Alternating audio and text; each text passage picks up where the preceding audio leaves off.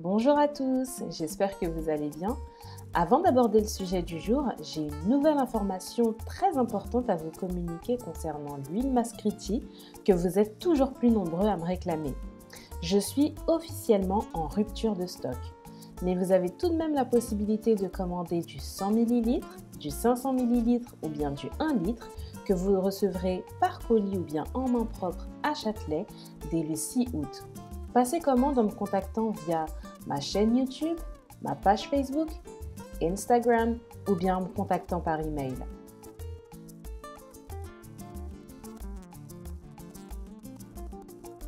Lors de ma vidéo précédente, euh, j'ai effectué un sondage pour savoir le, thème que je devais aborder pour la vidéo de ce jour. Et la première participante à avoir répondu à ce sondage s'appelle Nadjo en laissant le commentaire suivant. Super vidéo, j'aimerais avoir un chignon pareil que le tien, seulement avec mon problème de perte de cheveux devant pas joli. Donc prochaine vidéo, idée de coiffure pour celles qui sont dans mon cas. Donc du coup, pour répondre à la question de Nadjo, le thème du jour va être comment venir à bout de l'alopécie de traction?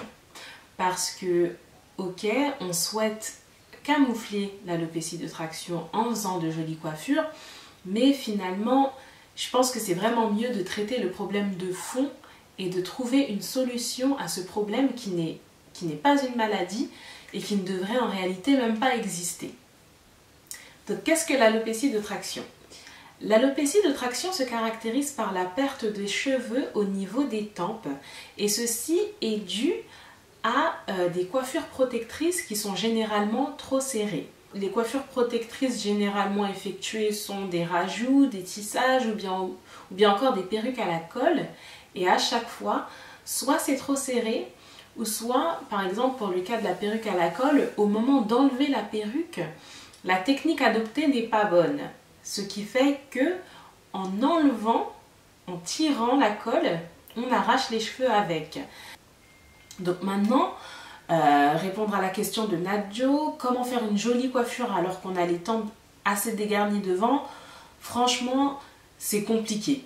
Mais selon l'état d'avancement de l'alopécie de traction de la personne, il va y avoir des solutions. Là, j'ai deux types de solutions à proposer.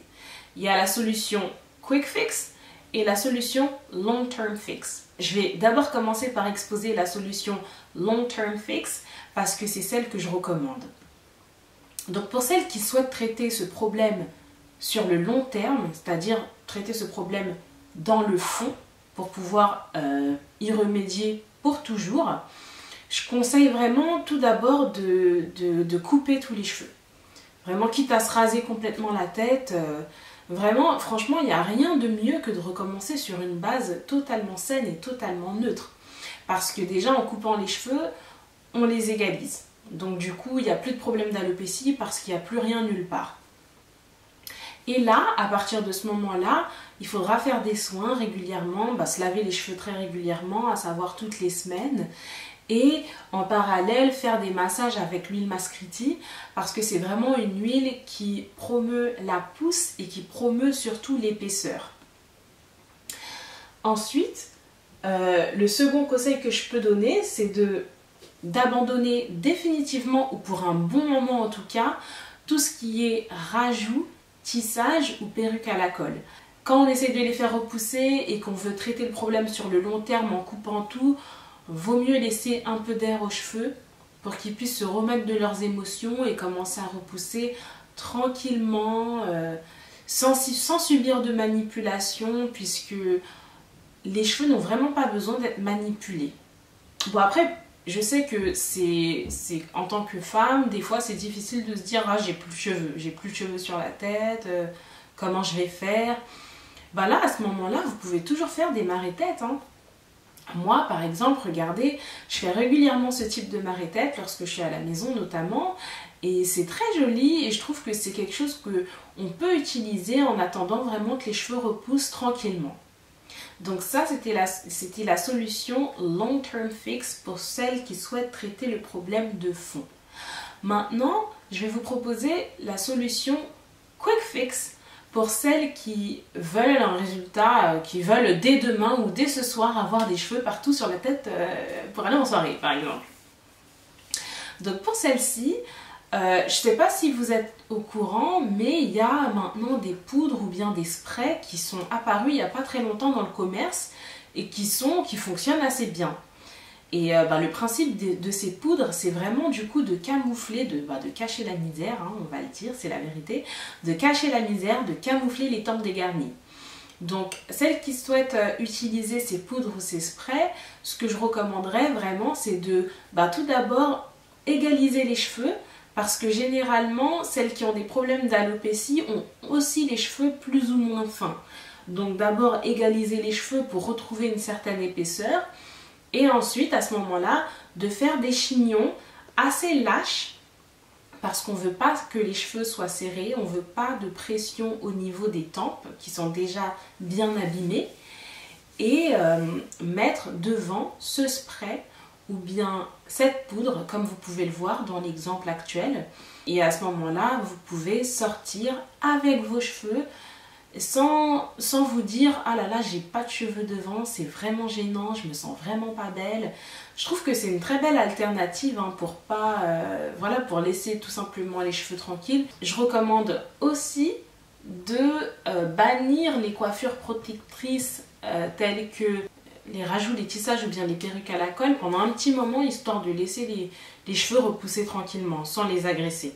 Je recommande aussi de, entre les lavages de cheveux, par exemple juste après vous avoir à laver les cheveux ou bien lorsque vous savez que vous allez vous, laver les cheveux, effectuer un massage crânien avec l'huile Mascriti. Euh, voilà, c'est quelque chose à faire vraiment sur le long terme pour, euh, voilà, pour euh, que les cheveux puissent repousser tranquillement tout en utilisant cette solution de camouflage. Et enfin, en conclusion, j'aimerais revenir sur euh, le fait de... Je ne sais pas si vous avez déjà entendu parler du mythe qu'il faut souffrir pour être belle. Parce que, je vous dis ça parce que étant enfant, je me souviens lorsque je me faisais coiffer par mes tantes par exemple, et que j'avais mal aïe ça fait mal. Ah Suspends plein, mon tête. M'entendez, petite Faut souffrir, oui, poubelle. Et finalement, je me suis rendu compte avec le temps, en grandissant, surtout que c'est absolument pas vrai. Parce que, euh, ben, personnellement, quand je prends soin de mes cheveux, lorsque je les lave, lorsque j'applique mon après-shampoing, lorsque je fais mes soins, je ne souffre pas. Lorsque je fais ma coiffure protectrice de la semaine, je ne souffre pas non plus. Et je ne suis pas moche.